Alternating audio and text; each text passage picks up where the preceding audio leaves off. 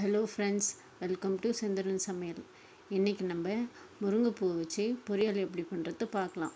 ஒரு table spoon நல்லெண்ணெய் எடுத்திருக்கேன். கால் டீஸ்பூன் கடுகு போட்டிருக்கேன்.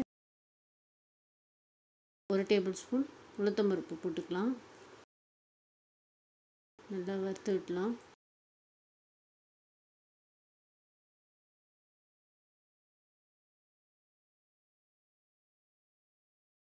இப்போது ஒரு மூணு காஞ்ச மிளகா ஒரு அரை டேபிள் ஸ்பூன் சீரகம் போட்டிருக்கேன்.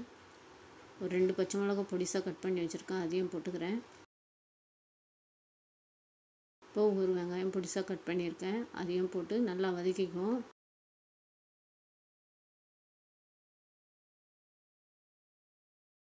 கொஞ்சம் கருவேப்பிலை ஒரு ஆறு பல் பூண்டு பொடிசாக கட் பண்ணி வச்சுருக்கேன் அதையும் போட்டு நல்லா வதக்கி விட்டுருவோம். ஆஃப் டீஸ்பூன் மஞ்சத்தூள் போட்டுக்கலாம்.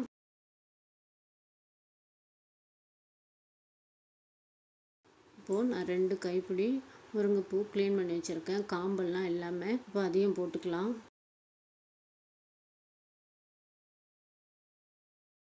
நல்லா வதக்கி விட்டுருவோம்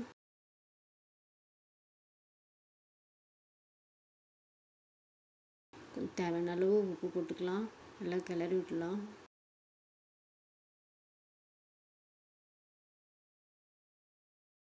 இப்போது ஒரு இருபது எம்எல் தண்ணி ஊற்றிக்கலாம் கிளறி விட்டு மூடிடுவோம். ஒரு பத்து நிமிஷம் வந்தால் போதும்.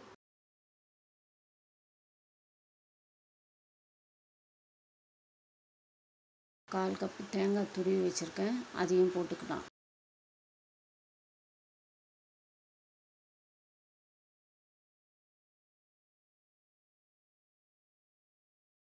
உங்களுக்கு இந்த வீடியோ பிடிச்சிருந்தா சப்ஸ்கிரைப் பண்ணுங்கள் லைக் பண்ணுங்கள் கமெண்ட் பண்ணுங்கள் ஷேர் பண்ணுங்கள்